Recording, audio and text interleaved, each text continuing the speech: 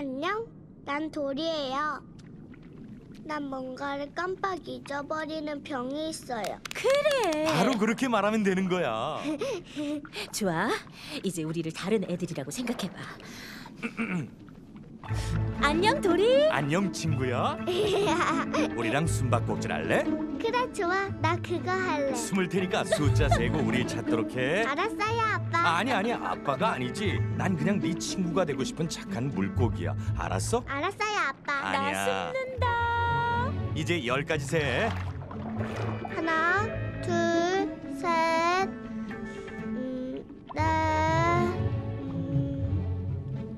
난 모래가 좋아. 부드러운 느낌이. 엄마 애들하고 놀래요. 도리. 도리 도리 도리. 도리 아가. 위험한 물살이야. 잊지 말아라 아가. 물살이 휘몰아치면 피해야 해. 이거 기억나니? 아빠가 가르쳐준 노래 있잖아. 위험한 물살 보면 우린 달려가. 아니 아니지. 즉시 달아나. 알았지? 다시 한번 해보자. 위험한 물살 보면 우린 위험한 물살, 위험한 물살, 위험한 물살. 저기 위험한 물살. 와 드디어 찾았다.